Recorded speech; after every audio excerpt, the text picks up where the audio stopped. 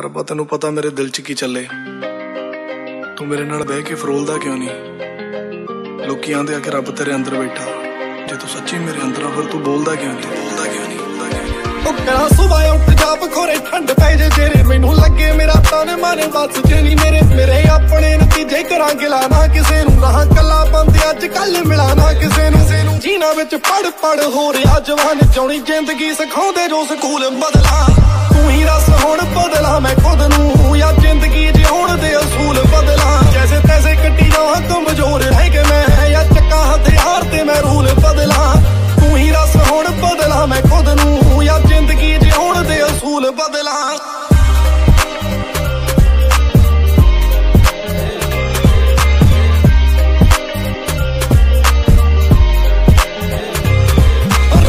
ਕਿਹੋ ਜਿਹਾ ਰੰਗ ਤੇਰਾ ਕਿਹੋ ਜਿਹਾ ਦਿਖੇ? ਜੇ ਤੂੰ ਸੱਚੀ ਲੇਖ ਲਿਖੇ, ਫਿਰ ਚੰਗੇ ਕਿਉਂ ਨਾ ਲਿਖੇ? ਮੈਨੂੰ ਰਾਹ ਜਾਂਦਾ ਠੋਕ ਜੇ ਜਾਂ ਵੱਡ ਜਾਵੇ ਸੁੱਤੇ। ਮੈਨੂੰ ਰੱਖ ਲਈ ਜਾਂ ਮਾਰੀ ਮੇਰਾ ਸਭ ਤੇਰੇ ਉੱਤੇ। ਲੱਖ ਕੱਪੜੇ ਬਣਿਆ, ਠੰਡ ਰੋਕਣ ਲਈ ਇੱਥੇ ਨਿੱਗੀ ਆਤਮਾ ਨੂੰ ਦਵੇ ਕਿਹੜੀ ਭੂਲ ਬਦਲਾ।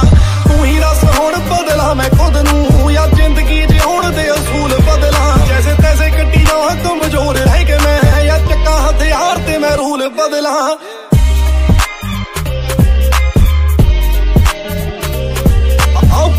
ਭਰਿਆ ਪਿਆ, ਮੈਂ ਦੁੱਖ ਢੋਵਾਂ ਕਿਹਦੇ ਕੋਲ ਇੱਥੇ ਕੋਈ ਨਹੀਂ ਮੇਰਾ, ਮੈਂ ਦੱਸ ਰੋਵਾਂ ਕਿਹਦੇ ਕੋਲ। ਜੇ ਮੈਂ ਪੁੱਛਾਂ ਤੈਨੂੰ ਆ ਕੇ ਕੀ ਜਵਾਬ ਦਵੇਂਗਾ, ਜੇ ਮੇਰਾ ਉੱਠ ਗਿਆ, ਯਕੀਨ ਤੇ ਤੂੰ ਚੰਗਾ ਰਵੇਂਗਾ। ਜਿਵੇਂ ਅਸੀਂ ਪੂਜਦੇ ਹਾਂ ਤੈਨੂੰ ਸਭ ਮੰਨ ਕੇ, ਕੋਈ ਟੱਕਰੇ ਤੈਨੂੰ ਵੀ ਤੇਰਾ ਰੱਬ ਬਣ ਕੇ। ਤੈਨੂੰ ਫੇਰ ਪਤਾ ਲੱਗੂਗਾ ਕਿ ਵਿਕੇ ਕਿਹੜੇ ਭਾਅ ਨਾਲ ਨਰਕਾਂ ਸਵਰਕਾਂ ਨੂੰ ਜਾਣ ਜਿਹੜੇ ਰਾਹ ਇੱਥੇ ਜਿੰਨੇ ਭੇੜੇ ਆ ਨਹੀਂ ਉਹਨੂੰ ਭੇੜੇ ਧੰਦੇ ਦੱਸ ਕਰਨ ਲਈ ਸਿੱਧੇ ਕਿਹੜੇ ਟੂਲ ਬਦਲਾਂ।